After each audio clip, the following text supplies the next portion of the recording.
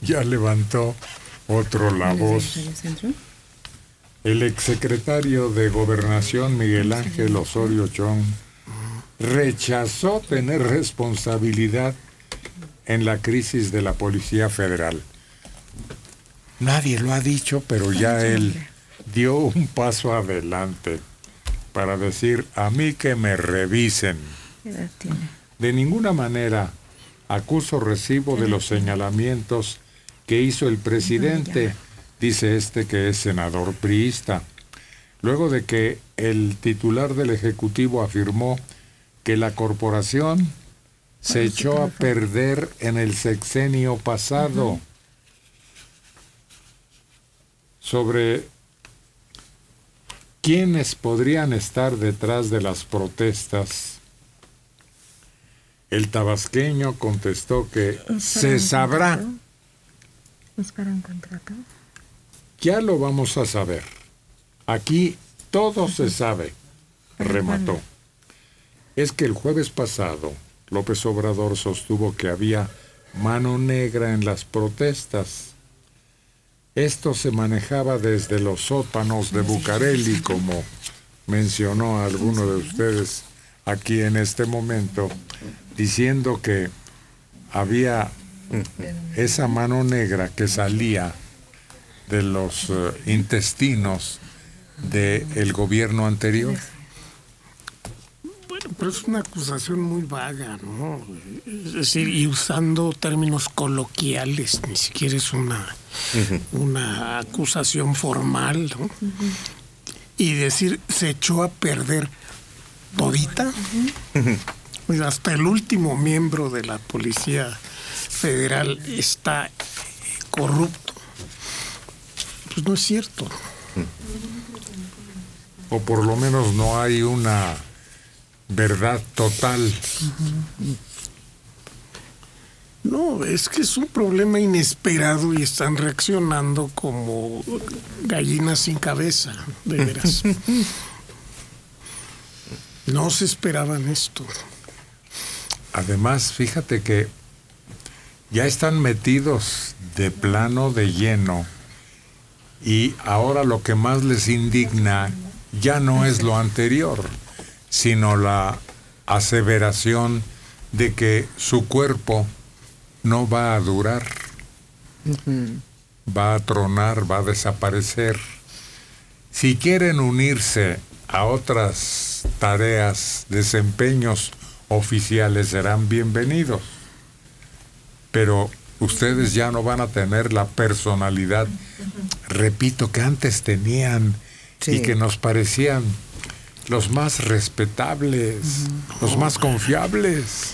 Impresionante. Sin duda hubo casos en que llegaron a coludirse con los criminales en algunas regiones, pero no había duda que en su mayor parte la Policía Federal llegaba e imponía el orden y, se acababan los, los conflictos. Te voy a recordar un hecho a todos ustedes. En el Aeropuerto Internacional de la Ciudad de México había tejes manejes.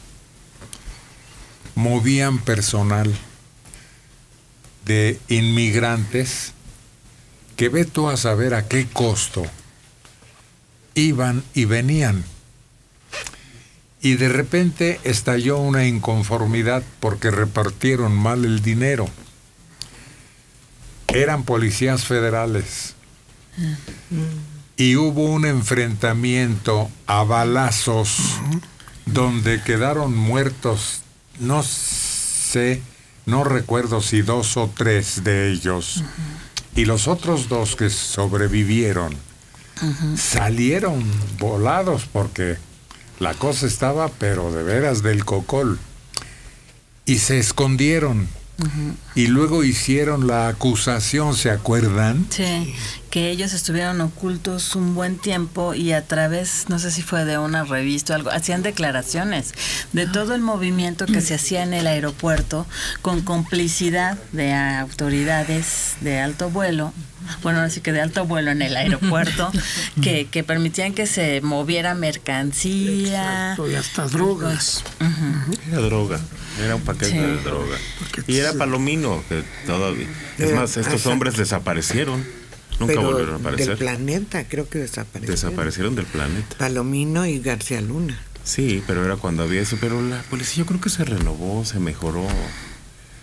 Recordar detalles así, claro que los tiene. Pero también tiene detalles muy buenos contra secuestradores. Los mejores golpes los dio esta policía. Contra el crimen organizado los dio esta policía. Sin duda. Si lo estábamos recordando nada más Sí, como- como para admitir que había corrupción, pero en sectores muy íntimos, en elementos muy señalados. Ese escándalo no, no prosperó porque no se investigó a fondo y porque los eh, dos elementos que huyeron y se mantuvieron ocultos, no. como dicen ustedes, no volvieron a aparecer en el mapa. Pero Pues- lo mismo que sus jefes. También desaparecieron del planeta y no sabemos absolutamente nada de ellos. Si se cambiaron de nombre, si se fueron a vivir a una isla desierta. De lo que estaban temerosos es de que sus familiares sufrieran represalias, porque eran mandos muy elevados de la Policía Federal los que estaban dentro del enjuague ese. Sí, en el aeropuerto. Se hablaba ahí de un- el jefe, el que manejaba toda la seguridad en el aeropuerto. Y después esto se acalló, se suavizó y ya pasó el tiempo y se nos olvidó. Incluso en esta última manifestación, varios de los elementos a grito abierto decían que investiguen altos mandos, que investiguen a nuestros jefes, porque por el cobro de cuotas muchas veces ellos también caen en actos terribles de corrupción, de todo. Caen en lo más bajo. ¿Por qué? Por la presión de aquellos que están en altos puestos. Va a ser una piedrota en el zapato del presidente actual y es un grupo muy numeroso y están muy prendidos, están de veras indignados por el destino final que les está asignado y porque no quieren seguir como elementos de confianza en el actual gobierno. Bueno, han progresado las negociaciones eh, porque ellos han modificado a resultas de eso su pliego petitorio. Ahora es más aceptable. El último que acepta que, que dieron a conocer es, es, es prácticamente decirle sí a todos y se acaba la bronca, ¿no? Eh, el problema es también un poco eh, ese afán de mantenerlo eh, como en secreto las negociaciones y demás. No, se pueden abrir más y no pasa nada, pues no hay, supone que no hay ninguna eh, intención ulterior eh, nefasta, ¿no? Sino que se quiere resolver el problema y que no haya ninguna injusticia con ninguno de ellos. Ahora, eh, la principal demanda de que les van a quitar un cierto, una cierta eh,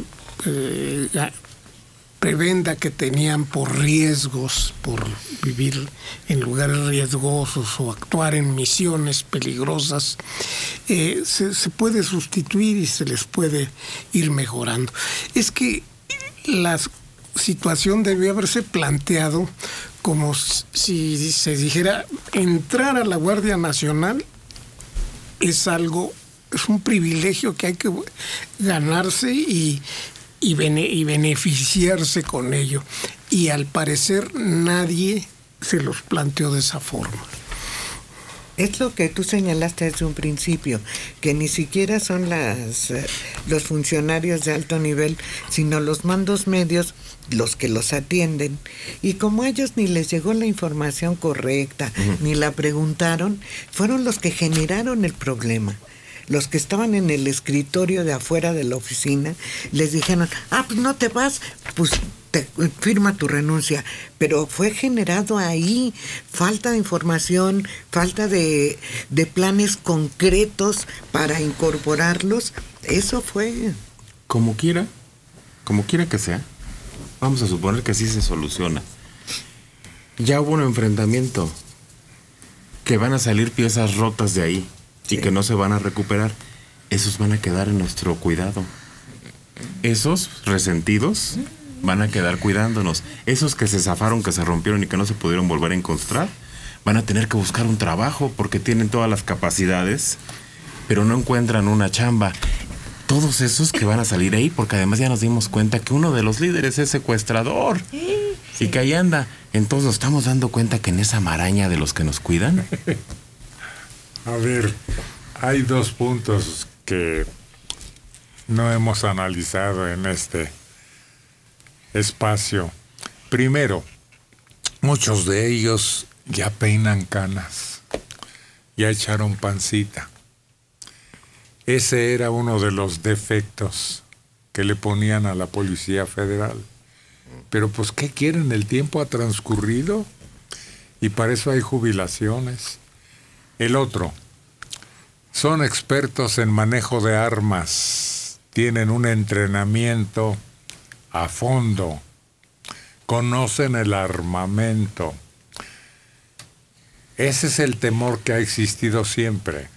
Si desapareces un cuerpo policíaco, sobre todo tan numeroso como este, ¿qué te garantiza que no se van a ir con los de enfrente? Sí, que cambien de bando. Es el origen de los Zetas, ¿no? Eran, los Zetas eran militares y formaron su grupo después. Exacto. Pedro Coronel Rodríguez de Tultitlán tiene 79 años. Héctor, nunca pensé que usted tuviera tan gran debilidad personal. Y me refiero a que casi le aplaude a Calderón por su discurso. Pero no se puede ni siquiera tomar en cuenta el discurso del más grande asesino de la historia. A él y a Salinas de Gortari deberían condenarlos. ¿Y por qué, oiga? ¿De qué los acusan?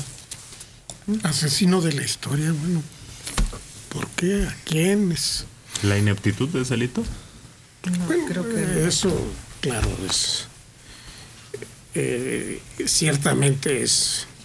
Es una falta administrativa, pero. este, pero el más grande asesino de la historia, híjole, ponerlo a un lado de Napoleón o de.